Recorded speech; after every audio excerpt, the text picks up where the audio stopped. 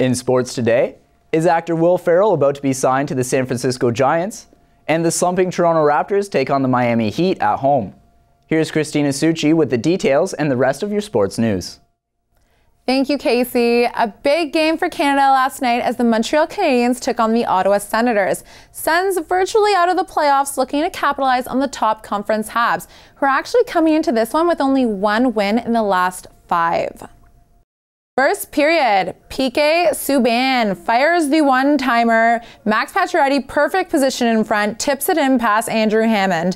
Just like that, 1 0 Habs. Couple minutes later, Pacioretty on the fast break roofs it for his second in the frame. But that would be as much action as we saw from them. Habs blow their early lead. Now we're tied at twos in the three, and Mark Stone redirects it past Carey Price. That's Ottawa's third unanswered goal. They'd go on to pot two more. Sens take it 5 3. Now, some more Canadian puck action. Winnipeg Jets taking on the Florida Panthers. Jets are hungry, looking for that final wildcard spot in the West. First period, Derek MacKenzie chases the pass, dives and redirects past Michael Hutchinson. That's just a great effort. 1 0 Panthers early. Second period, Mark Scheifele catches Dan Ellis sleeping, just blows it by him for the equalizer. That ties it at twos. Late in the third, Aleksander Barkov rings it off the metal and in for the game winner. Add an empty netter to it. Panthers win 4 2.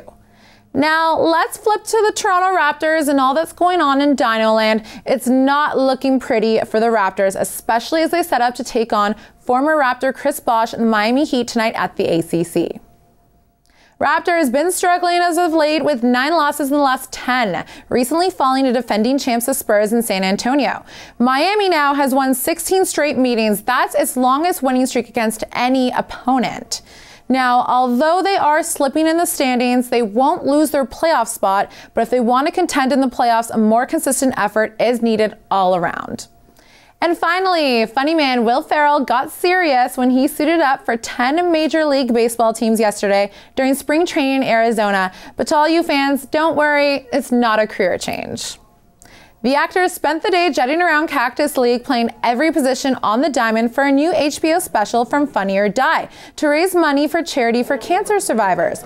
The Giants, the Oakland A's, and the Padres are just a few of the jerseys he donned while sporting the number 19 for each game.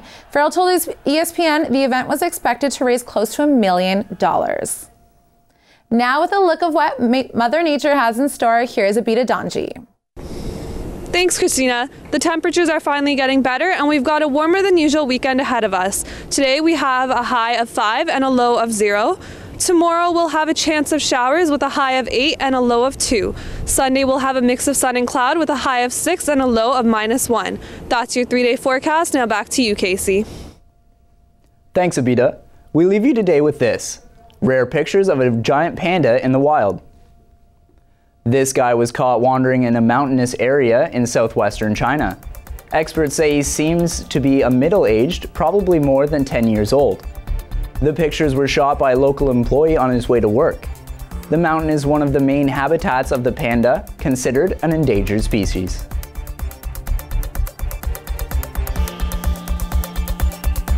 That's all for today. For details of these stories and more, check out humbernews.ca. Humber News is produced by students in the journalism program at the North Campus. I'm Casey Taylor. Have a great weekend.